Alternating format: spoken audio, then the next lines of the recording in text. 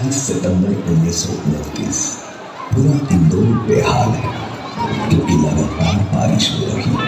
लेकिन दिल्ली, मंगेशकर साहब और शवंती देवी जी की खुशी आज संभाले भी नहीं समझ रही है। क्योंकि आज उनकी गोद में किलकारियों की बारिश हो रही है। क्योंकि खुदा ने दिया है उनको खुशियों का वर और घर आई है। एक नन्ही सी बड़ी लता मंगेशकर मेरे सामने मैं तेरे सामने तुझको देखूँ के प्यार करूँ ये कैसे हो गया तू मेरी हो गई कैसे मैं एतबार करूँ एक मरतबा ऐसा हुआ कि नाटक चल रहा था और वहाँ करने वाला नारद नहीं आया था। दीनानाथ जी परेशान थे। तब लता जी जाकर बोली कि बाबा कोई बात नहीं। वो नहीं आया तो क्या? अगर आप कहें तो मैं इसका रोल कर देती हूँ। लता जी ने वो रोल किया। लता जी ने कहा, बाबा देखना, मैं वॉइस लेके आऊँगी। और उन्होंने ठीक उसी तरह किया। वंस लेके आई തലേ ഹിമാചലേ ഹിമാചലേ കുഞ്ചിരി തന്തി കുഞ്ചിക്കോ തിരുമത്തൊളി ചിന്തിക്കോ മന്ത്രി വന്ന ചുന്തരി വാവേ തമ്പിൽ നക്ക തകതിയാടും തങ്കനിലാവേ കുഞ്ചിരി തന്തി കുഞ്ചിക്കോ തിരുമത്തൊളി ചിന്തിക്കോ മുഞ്ചണി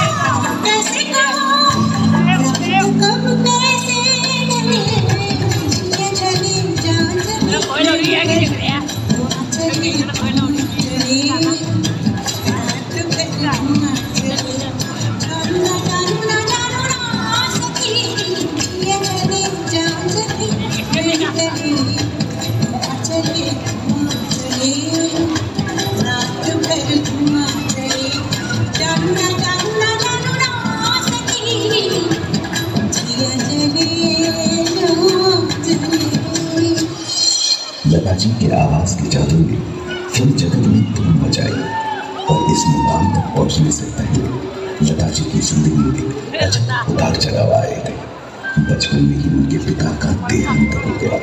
पूरे परिवार की बागडोर इनके कंधों पर आ चुकी थी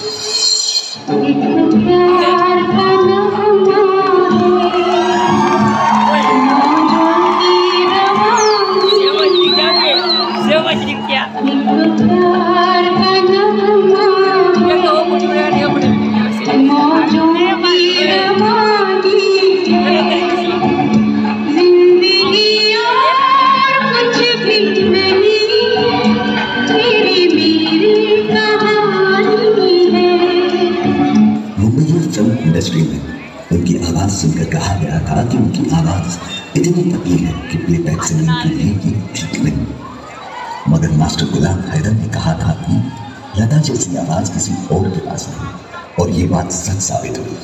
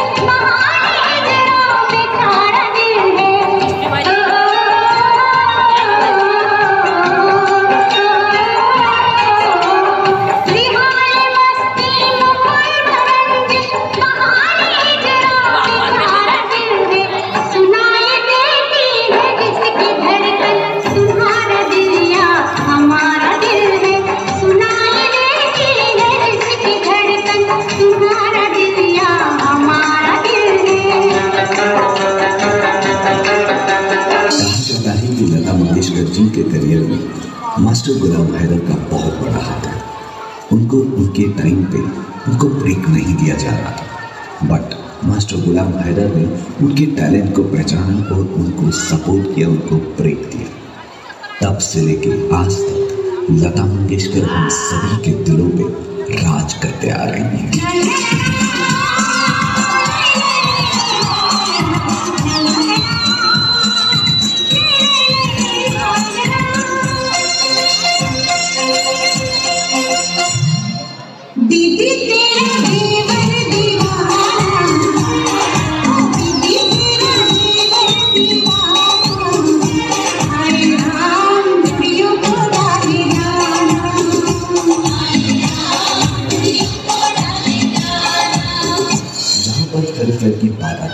वहाँ लता मंगेशकर जी ने डिसाइड कर लिया था कि मेरे सिंगर्स को मौका मिलना चाहिए और उन्होंने अवार्ड लेना बंद कर दिया था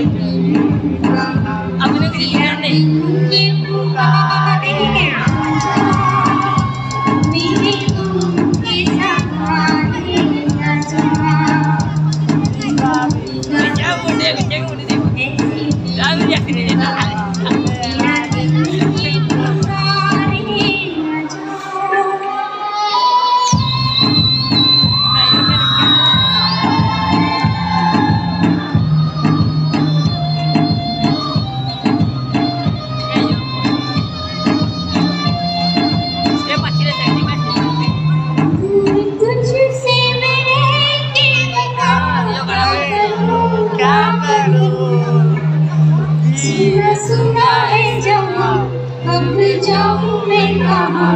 बस इतना मुझे समझा मेरा पिता है समा ऐसे ही